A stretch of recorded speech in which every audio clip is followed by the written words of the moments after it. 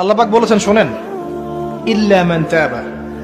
যে অনেক গুনাহ করেছে, শিরিক করেছে, জেনা করেছে, মদ খেয়েছে, বেদাত করেছে, হারাম খেয়েছে, আল্লাহ পাকের অবাধ্য হয়েছে, নামাজ পড়ে নাই জাকাত দেয় না ইত্যাদি ইত্যাদি, অনেক অন্যায় করেছে।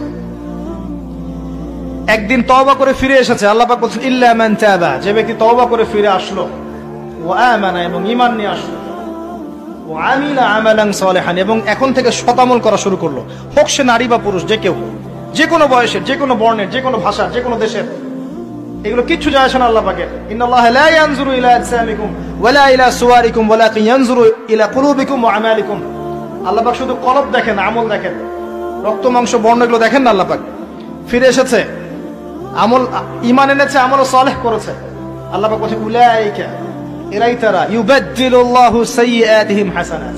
এরাই সেই ব্যক্তি যাদের সমস্ত গুনাহকে আমি আল্লাহ নেকি দিয়ে পরিবর্তন করে দেব।